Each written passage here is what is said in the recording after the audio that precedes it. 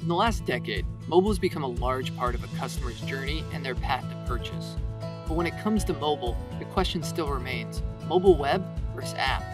While mobile web content is easier to find and can help you acquire organic users, apps can help you engage, retain, and convert much better than the mobile web. In fact, apps convert at a rate three times higher than the mobile web, and on average, users spend $127 versus $91 for the mobile web, which is an average increase of 39.5%. That's why we recommend driving users to a mobile app. For example, watch here as Target shows how they drive users to download their app. The user has searched Google, clicks on a link, and lands on Target's mobile website.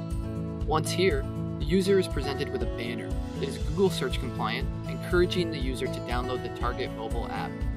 This is Journeys Web to App, and it provides brands with customized banners and interstitials for every user on a mobile website, helping you take them into the app at the right time. Journeys offers codeless creative asset building, A B testing on those assets, and comprehensive audience segmentation to ultimately help your mobile app grow.